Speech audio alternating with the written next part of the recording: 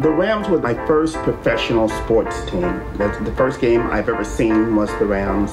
Um, I think that sort of sparked my love of the game.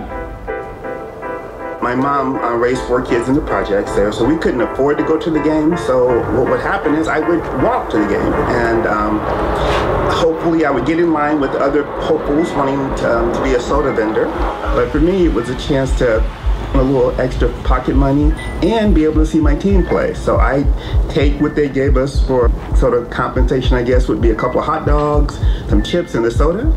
I go down and find the closest seat I could get into without the ushers kicking me out.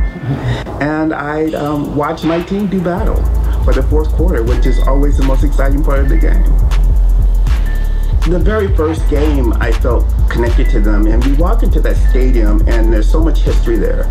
It, it was huge and even bigger for a, a 17 or 16 year old kid. I saw those colors, and I thought, wow, this is just so cool. Having affiliation, right, as a kid, being able to um, connect with a, a successful organization that was doing well. They had a black quarterback, which was very rare in the 70s.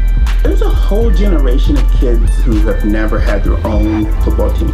Been such a long time waiting for them to um, come back.